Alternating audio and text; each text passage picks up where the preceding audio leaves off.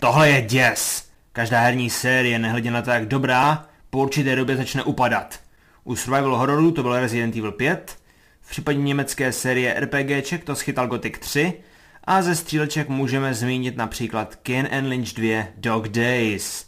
To nebylo ani známou herní série Silent Hill. Celé to začalo v roce 2004, kdy vyšel čtvrtý díl v sérii s podtitulem The Room pro PlayStation 2, Xbox a PC.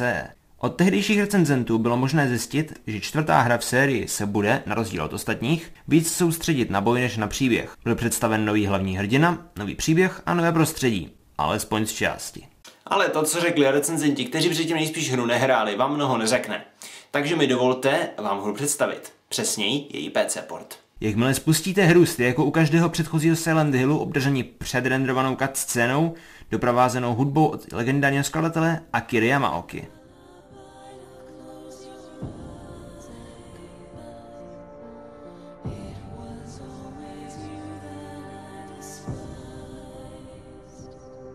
Každopádně zapnete hru a jste obšťastněni další scénou, která vám osvětlí příběh našeho hlavního hrdiny Henryho Townsenda. Henry se přestěhoval do pokojeného bytu číslo 302 v apartmánech South Ashfield Heights. Měl se dobře, ale po jisté době začal mít noční můry. Následně objevil, že jeho dveře nejdou otevřít, nefunguje televize, rádio je on zde spustit a v koupelně má díru, do které by se vešel dospělý člověk. Hned na to jste vhozeni do hry a pokud jste hráli předchozí Silent Hilly, tak budete velice překvapeni tím, co uvidíte. Ano, hra se ve vašem pokoji hraje z prvního pohledu. A ano, jinde než ve vašem bytě se s prvním pohledem nesetkáte. Opravdu to nechápu, vypadá to jako kdyby se nemohli rozhodnout, jestli udělat hru z prvního nebo třetího pohledu. Zároveň jsem si všiml něčeho velmi znepokojujícího v levém horním rohu obrazovky. To nemůže být Health Bar. Správný Silent Hill vám váš zdravotní stav ukáže v inventáři. Ne, to musí být něco jiného. Ne, je to Health Bar. Je to skurvený Health Bar ve skurveném Silent Hillu. Proč to tam je? Ubírá to na strachu, ale neskutečně, když víte, kolik ran do sebe můžete dát. Je to skoro jako kdybych Danielovi z Amnesia dal brokovnici. Ale třeba to s tím health barem nebude tak hrozný. Možná, že když si to dám na normální obtížnost, tak mi hra poskytne nějakou výzvu. Monstra mě zabijou rychlejc a mě bude trvat díl je zabít. Viděli jste to? Jeden milimetr! Jeden blbý milimetr! A od psa! Vím, že by na mě hra měla být začátku hodná, ale tohle je opravdu moc. Ale dost jsme se pláceli doma, pojďme ven. Po vyčerpání všech možností, co dělat doma, jako další úvodní scéna, zadávání nesmyslných čísel do telefonu a sledování lidí přes okna, pošlete Henryho do díry, která zde slouží jako cesta do všech různých lokací jako metro, les, vězení, činžák a nemocnice, ve které potkáte Eileen. S Eileen projdete druhou polovinou hry, která, a teď přijde něco velkýho, je z velké části složená z toho samého metra, lesa, vězení a činžáku, bez jakýchkoliv věcí, co tam dělat, než jen dovést Eileen z bodu A do bodu B tím nejpomalejším možným způsobem. A právě tady jsem narazil na největší problém, to jsem měl s touhle hrou. Jako kdyby už nevěděla, co tam dát, tak nás donutili se lokace zopakovat. A tomu ještě přidává tupá umělá inteligence. A když říkám tupá, mám na mysli, že mlátí do všeho, co vidí, ať už to jde nebo nejde zabít, blokuje cestu a zdržuje svou neuvěřitelnou rychlostí. Vím, že tehdy ještě nebylo a stále není možné vám dát ve hře parťáka, aniž by vás občas otrávil svojí hloupostí. Ale tady to vůbec nebylo nutný. Kdyby Eileen prostě zmizela a objevila se až na konci, nemuseli jsme si ničím z toho procházet. A vlastně proč ji tam mít? Co my o ní víme? Co my víme o těch všech lidech? Co víme o Henrym? Vůbec nic. Další místo, kde je Silent Hill 4 opravdu slabý, je představení postav. U většiny her to tolik nevadí, ale u psychologického survival hororu je docela důležité něco o hlavních postavách vědět, jinak se o ně nebudete vůbec zajímat. Pravda sice je, že ani díly předtím vám taky neříkali hodně o postavách, ale alespoň jste věděli, o co jim jde, jací jsou a třeba i něco o jejich minulosti ale Silent Hill 4 celé tohle bere a hází do koše. Tím pádem vždy, když jsem umřel, tak jsem neměl vztek na sebe, že jsem to zase podělal, Naopak, bylo mi to úplně jedno. Bylo mi úplně jedno, co se stane tomu týpkovi, kterýho jsem celou dobu ovládal. Mluvil jsem o tom, jak prudce inteligentní je Eileen. Některá monstra na tom však nejsou o moc líp. Zároveň to má však i své kladné stránky.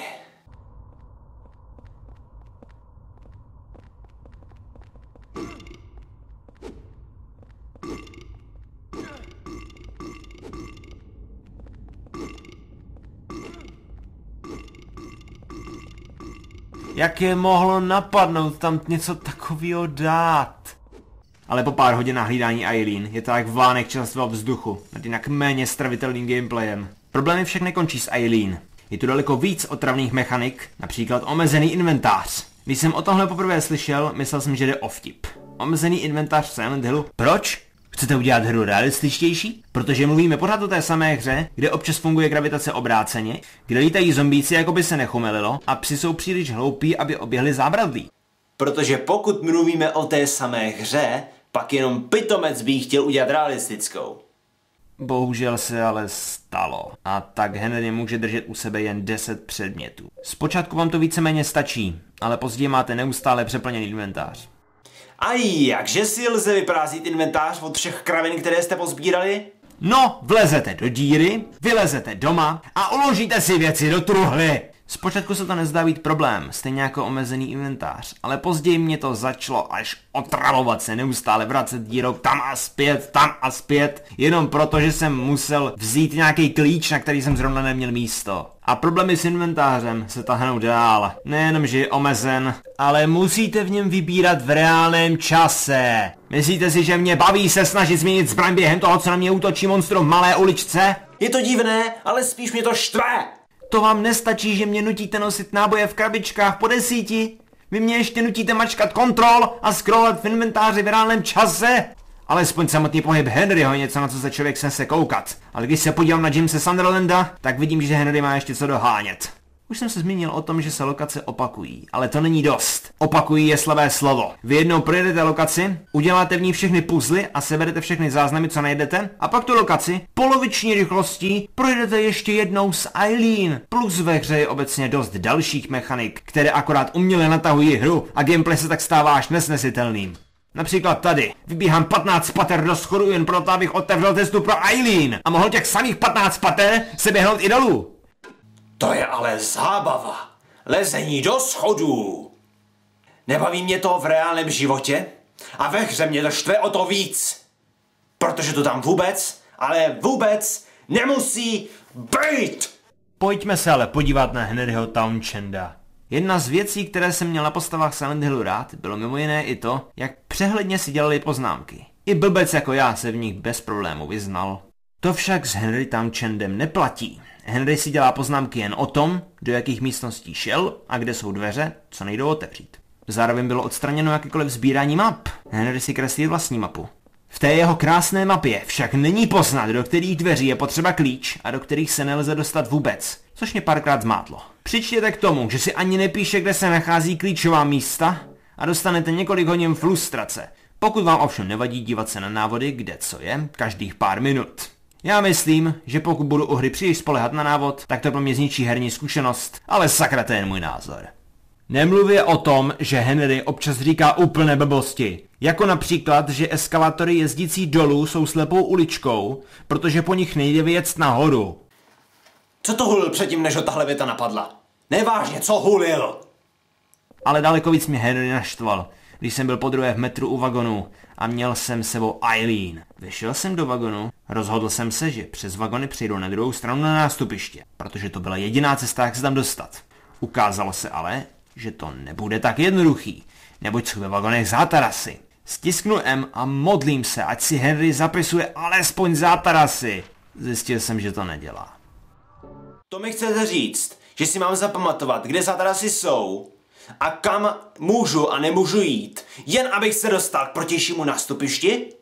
Pokud se vám líbí chození mezi vagony plnými monster a zátarasů a přitom doprovázení bytostí tupější než cihla, pak hodně štěstí. Pokud ne a jste jako já, tak už jste si touhle dobou nejspíš vyškovali všechny vlaze z hlavy! Harry, James a Heather by si to zapsali, ale Henry ne. Henry má koule jít do malého prostoru plného monster s mapou, kterou zabloudí. Henry je sakra odvážný chlapík. Ne, není, je to královský idiot. Ne, vážně. Ve hře jsem si několikrát zaseknul, protože jsem zapomněl, kde co je a pitomec Henry si to nezapisoval. Navíc mám pocit, že jediný důvod, proč si Henry nepíše správné poznámky, je ten, abyste hru hráli déle. A příběh hry má tu odvahu nazvat Henryho nositelem moudrosti. Nositelem moudrosti? No tak, Henry a nositel moudrosti, i vycpaný králík je chytřejší než on. Vycpaný králík by byl tak chytrej, že by se nenastěhoval do blízkosti Silent Hillu. Vycpaný králík by sebou nevzal na cestu Eileen, protože by viděl, že je zraněná a bude ho zdržovat. Vycpaný králík by byl dokonce tak chytrej, že by ho nenapadlo jíst do díry. Ve hře je dokonce plišový zvíře, který má víc společného se zbytkem série než Henry. Jo a víte, co je nejlepší? Nejsrandovnější část Henryho života je, když umírá. Klekne si, otočí se o 180 stupňů nebo více a pak se vám ukáže extrémně nápaditý game over screen, jak si to matka příroda přála. Další věc je boj. Vůbec jsem nečekal, že bude o tom třeba tolik mluvit. Předchozí Silent Hill měli příšerný battle systém, ale taky se na něj nesoustředili. Boj byl o tom, že vy si připravíte do bojové pozice a snažíte se najít své nepřátele a zautočit na ně. To je ale velice obtížné, protože kameru víc zajímá vaše postava, než monstra, která na ní útočí. Zároveň používání auto-aimu bylo o nervy. Místo toho, aby postava dodělala monstrum, co zrovna skolila, tak se auto-aim vycentroval hned na další monstrum v blízkosti. Začnete do něj mlátit a během toho se to monstrum, co jste předtím skolili, stačí znovu postavit na nohy a zautočí na vás. Hrál jsem Silent Hill 1, 2 a 3 a to víckrát než jednou, takže už jsem si zvykl na způsob, kterým auto-aim a celý boj funguje, ale stále se mu radši vyhnu. Byl jsem tím pádem dost zvědav, s čím koneme přijde, když oznámili, že se Silent Hill 4 bude soustředit na boj více než ostatní díly. Dopadlo to takhle. Vypadá to, že jediné co udělali, bylo, že vzali ten samý battle systém, jako byl v Silent Hillu 3 a akorát nás ho donutili více používat. I když musím zmínit, že se mi mnohokrát podařilo se dostat přes nepřátele i nenásilným způsobem. A někdy to ani jinak udělat nejde. Ve hře se totiž už od začátku vyskytují jakási stvoření, která vypadají jak vznášející se zombí. Tyto tvory nelze zabít. Lze je pouze zastavit a to tak, že je přišpendíte speciálním mečem k zemi. S bojem si není třeba dělat starosti. První část hry se vám, alespoň na normální obtížnost, dobíjejí životy v bytě. Je docela důležité, abyste se báli smrti. Jak se mám bát smrti, když mi stačí, když zajdu domů a kompletně mě to vyhýluje.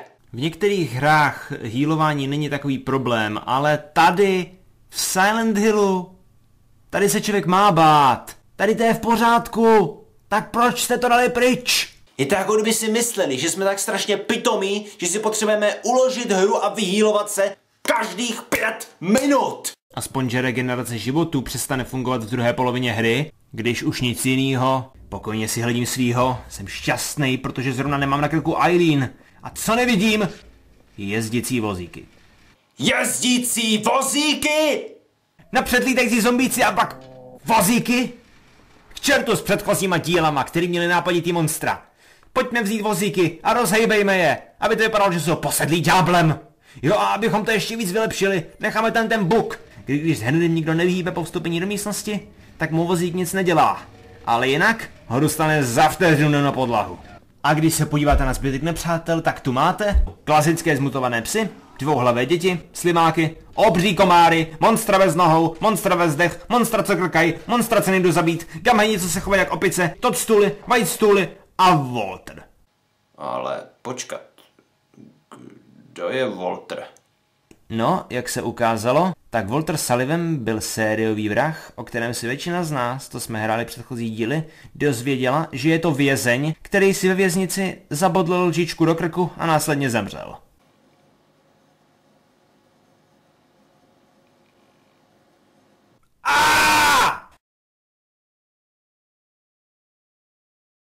A tenhle příběh ani nebyl tak důležitý. Novinový článek, ve kterém se o Sullivanovi psalo, šel najít Silent Hill 2, kdy jste v apartmánech schodili karton džusu do odpadní roury a pak jste u odpadního otvoru našli tohle. Walter Sullivan je zároveň jediným bossem ve hře. Sice jsem viděl na nějaké fanouškovské stránce, že považují za bose i oběti, což prakticky není nic víc než lídající zombík na konkrétním místě. Já ale považuji za bose něco, co jde zabít. Tihle nejdou. Každopádně mě malinko irituje, že jako ukončení lokace není boss, vzhledem k tomu, jak jsem měl rád bossy v předchozích dílech. A jak tady vůbec končí každá lokace? Prostě skončí. Může to být ještě línější než tohle? To je jako kdybych vzal pána prstenů a vystřihl bych z něj všechny finální bitvy. Bosové sloužili jako mezníky. Po smrti každého bose jste měli pocit ukončení. Tady si pokojně chodím a chodím, občas udělám nějaký ten puzzle, ale to tak jednou za sto let. No a najednou bum, scéna, hned za ní díra domů, vrátím se domů a když pak následně projdu dírou doma, tak se objevím v úplně jiné lokaci, než jsem předtím byl. Ani se nerozhýnu a už je konec. Je to jako když někoho přerušíte uprostřed věty. Prostě se to nedělá. Uh, OK, pojďme se podívat na poslední boss fight. Dobře, vstoupil jsem do jiné dimenze. OK, scéna, dobrý. A jeden se chce zabít a Volter chce zabít mě. Tak, pojďme do boje. Volter je nezranitelný. Se snažím, jak se snažím, nemůžu ho sakra zabít. No a zemřel jsem, jak jinak. Nevěděl jsem totiž jednu důležitou věc. Abyste Voltra zabili, musíte do One Truth, ano, to je tenhle fešák, zabodnout 8 kopí, která jsou v kamenech rozmístěných dokola. Až tak uděláte, Voltr bude zranitelný. Teď už ho lze zabít, ale i tak to není zrovna jednoduché. Chcete mít buď sakra hodně nábojů, nebo neuvěřitelnou trpělivost a mládit ho sekirou. To ale není vše. Pokud chcete lepší konec, musíte stihnout vzít kopí zablnutá v kamenech, zabodat kopí do One Truth a zabít Voltra předtím, než Eileen do pochodu je ke kruhům, co ji rozdrtí na kaši. Zkusil jsem to několikrát s nimi zbraněmi, ale ať jsem dělal, co jsem dělal, nikdy jsem nestihl Eileen zachránit. A po všem tom utrpení, který jsem si s touhle bytostí musel protrpět, se jí mám ještě snažit zachránit, když o ní nic nevím? Ne díky, já měl dost.